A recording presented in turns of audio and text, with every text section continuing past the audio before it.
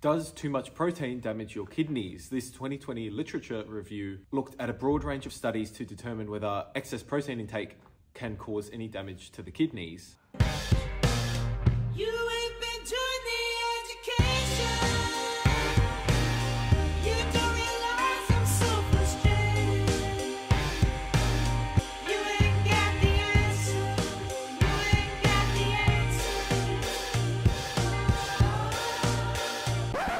Now, while there have been a lot of studies to show that high protein intake increases EGFR, which is a proxy for hyperfiltration of the kidneys, and that high protein does worsen kidney function, as measured by the amount of protein in these participants' urine, a lot of these studies have been done with guys and girls who already have kidney disease or some form of renal impairment. The real question is for a healthy person over the course of their life, is a high protein diet going to cause any damage? Like, is there any actual physical mechanism as to how protein might damage the infrastructure of the kidneys themselves? Well, there could be, and I want to be careful here because the research is very conflicting, but there could be possible mechanisms as to how high protein chronically over the course of your life may cause kidney damage. Now, when you take in protein, a lot of nitrogenous or nitrogen based waste products are created as byproducts of the metabolism of the protein.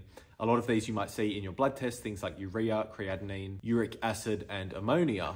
Our body doesn't like to have this nitrogenous waste in our system and will try and excrete this through the kidneys and through the urine and will increase the filtration of our blood through the kidneys in order to facilitate this if the nitrogen load is very high. And it's this filtration that scientists think may be the issue. And I'm just going to be completely honest here. The research shows that there is potential kidney damage for prolonged, chronic, and excessive protein over many, many decades. This hyperfiltration, as well as pro-inflammatory genes that are turned on with a high nitrogen load, may damage the kidneys over the course of your life, causing renal fibrosis, which is scarring and damage that represents a failed wound healing process of the kidney tissue itself, and a lot of reactive oxygen species that are created that are very pro-inflammatory for our bodies, predisposing you to heart disease as well as other organ damage. But let's just take a look at the filtration unit of the kidney and the actual physical structure here for a second. The nephron is the primary filtration unit of the human body and a small section called the glomerulus, which is EGFR, estimated glomerular, which I can never say, never ever say, EGFR, estimated glomerular filtration rate. But if you actually look at the structure of a nephron itself, there's an afferent arteriole where blood comes in to be filtered. And keep in mind that a normal kidney has around 1 million nephrons on average. So we have about 2 million nephrons all up between both kidneys.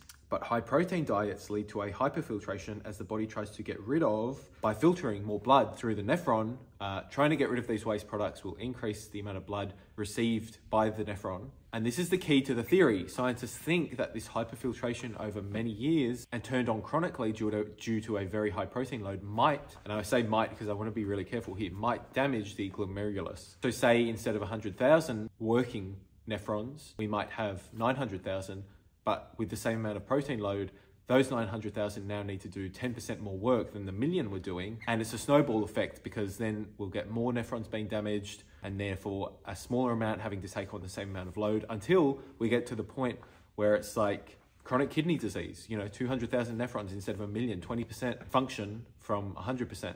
Now, just keep in mind this is, a theory, and uh, there are a lot of studies to show that high protein diets don't have any major effect but it is interesting and it's just food for thought as to how a high protein diet chronically and hyperfiltration in the nephron may lead to kidney disease or some sort of impairment of your kidneys later on in life. And it's not a concern really in your teens or your 20s or your 30s, not even your 40s maybe. This is stuff that might happen 70, 80 years old, and it's too late then to fix it. So is it all bad news? Well, no, there are things you can do to offset some of it. In the research, kidney damage has responded well to high fruit and vegetable intake, fiber intake, and this offsets some of the nitrogenous load on your kidneys. And like I said earlier, a lot of the studies are done on people with pre-existing kidney conditions, so we're not 100% sure if you took two healthy kidneys and exposed them to high protein diet. Now, in the research, high protein diet is sort of 1.6 to 2 grams of protein per kilo of body weight, which works out to roughly uh, a gram per pound